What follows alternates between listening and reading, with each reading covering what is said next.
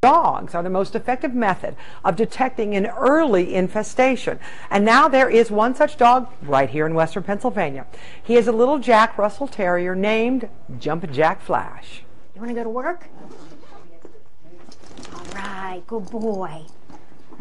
Gretta McIntyre loves working dogs. In 2001, she and her husband used her border collies to start a Canada goose control business.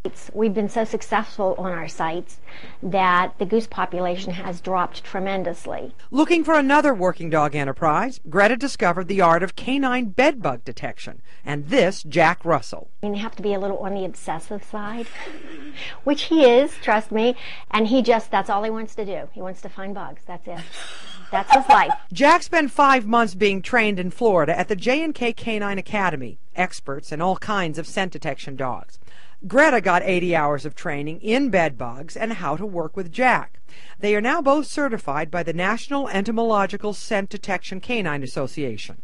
Um, I just checked um, some students who came back from spring break in Florida, and one of them had bed bug bites. Um, so you checked the house? Uh, I checked their suitcases, and I'm going to be checking a sorority house this week. This day, we're at the house of fellow dog trainer Marge Sarver.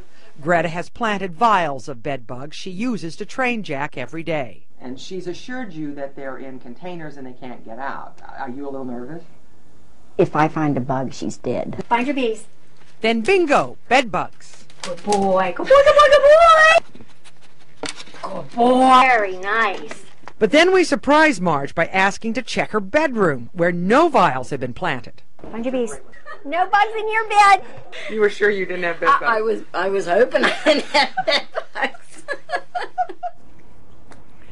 Gretta's business is located at the sheep farm she owns with her husband in Avella, Washington County, and Jack is the only certified bedbug dog in the entire region. He visits schools, hotels, and dormitories that cost $250 to start. Now, dogs are most effective in pinpointing exactly where the problem is.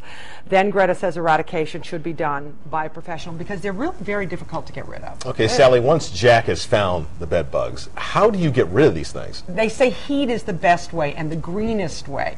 Uh, that's why the dogs are really also a green solution because then you don't just blanket your entire house or dorm, dorm with pesticides. Mm-hmm. You right. pinpoint exactly where you mm. need to do it. And by the way, bed bugs don't transmit diseases. They're just annoying and creepy.